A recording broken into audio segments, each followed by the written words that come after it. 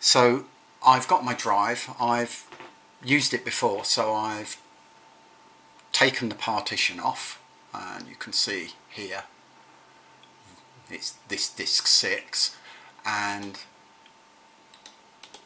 now I'm going to create a partition and I'm going to call it uh, MP MPC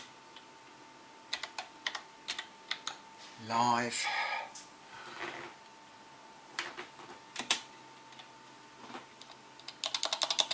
fact SSD It's better.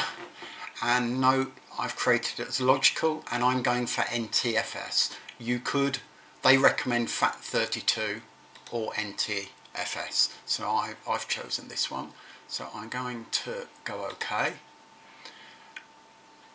And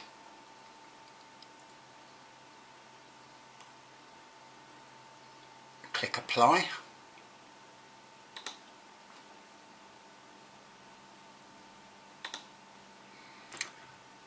and this shouldn't take too long. As you can see I'm using that product. And this was free. So that's ready now. So I'm going to eject the disk and I would advise using something soft to Today I'm going to show you how to fit an external hard drive into the Akai MPC Live. So first put a soft towel or something on a bench and turn the device upside down.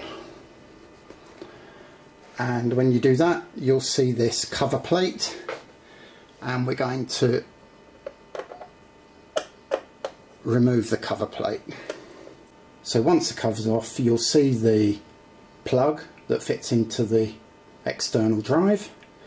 I'm fitting today a SanDisk Extreme Pro and first of all we need to make sure that we put attach the drive to the cover in the right way. So I'm going to do it this way so that the connectors here line up and to do that I'm going to screw the cover by lining the holes on the drive. Now this bit you may not be able to see very well but I've got the screws that came with the drive and there we go Right, there's one. I'm, I'm not going to over tighten at this stage. And now I'm lining up the second hole here. And the holes have to be perfectly aligned, otherwise the screw won't engage. There we go, there's number two. And I've not done it tight. And number three, and then number four.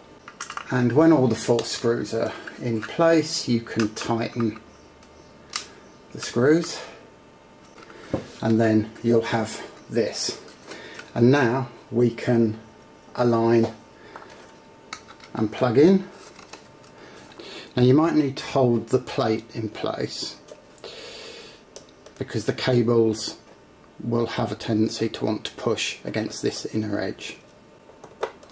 Now this drive has already been prepared as an NTFS drive and I've named the drive MPC SSD in my case.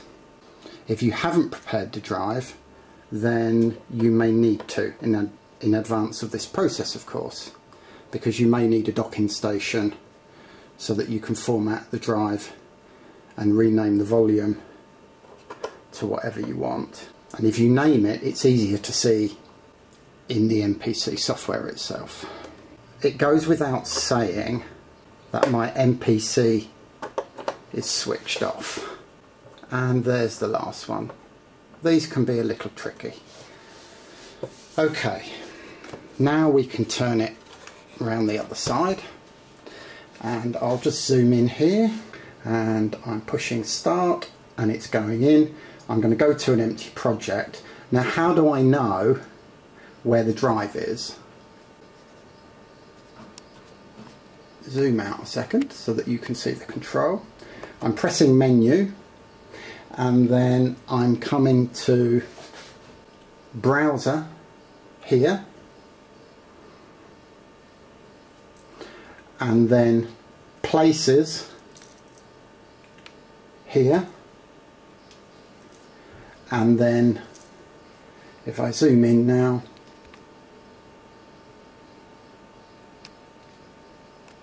you can see the MPC SSD drive here.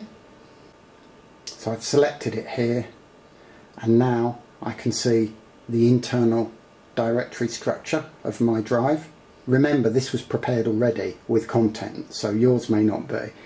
Um, and then I can go into my drums directory and I can find my samples so thank you for watching